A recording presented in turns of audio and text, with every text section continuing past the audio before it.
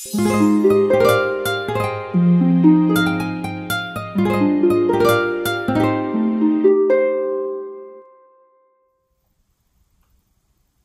meine lieben Märchenfreunde, schön, dass ihr wieder bei mir hereinschaut. Heute habe ich eine Geschichte aus Indien für euch und die nennt sich von der Geschwätzigkeit.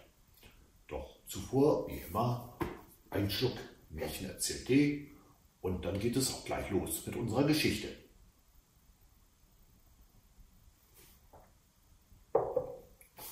Der Geschwätzigkeit zum 15. März. Ein weiser Brahmane war einst Ratgeber eines noch jungen Fürsten. Dieser dachte noch nicht die Tugend der Schweigsamkeit. Und nochmal.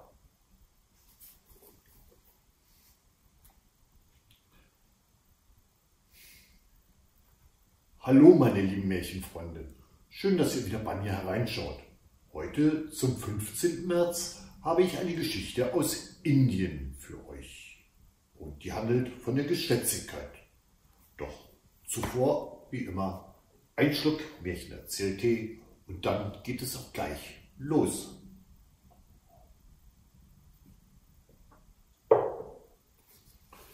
Von der Geschwätzigkeit.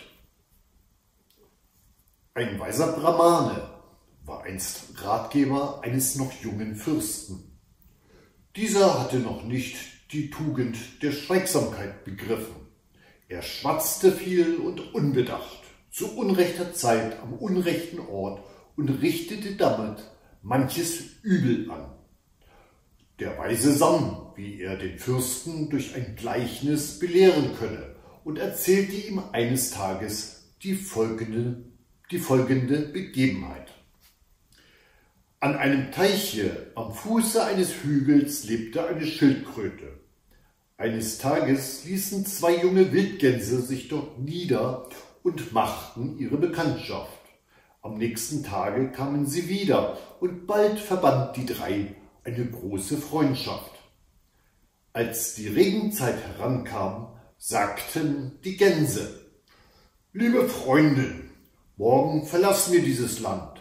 Wir haben im Norden eine schöne Wohnung. Willst du nicht mit uns ziehen? Es wird eine vergnügliche Reise sein.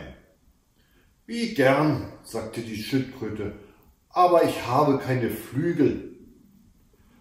Das wollen wir schon machen, sagten die Gänse, wenn du nur deinen Mund halten kannst. Das will ich wohl tun, sagte die Schildkröte. Nehmt mich nur mit. Am nächsten Tage kamen die Gänse geflogen und hatten einen Stock mit sich, dessen Enden sie im Schnabel hielten. Nun, nimm die Mitte dieses Stockes ins Maul, halte dich fest mit den Zähnen und rede kein Wort, bis wir am Ziel sind. Die Schildkröte tat, wie ihr geheißen war. Die Gänse erhoben sich in die Lüfte und segelten davon, die Schildkröte zwischen sich am Stock. Als sie über das Dorf flogen, liefen die Kinder zusammen und schrien, Seht die Schildkröte in der Luft, seht die Gänse mit der Schildkröte, hat man je sowas gesehen?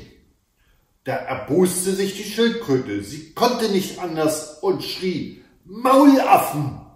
und stürzte hinab und zerschellte.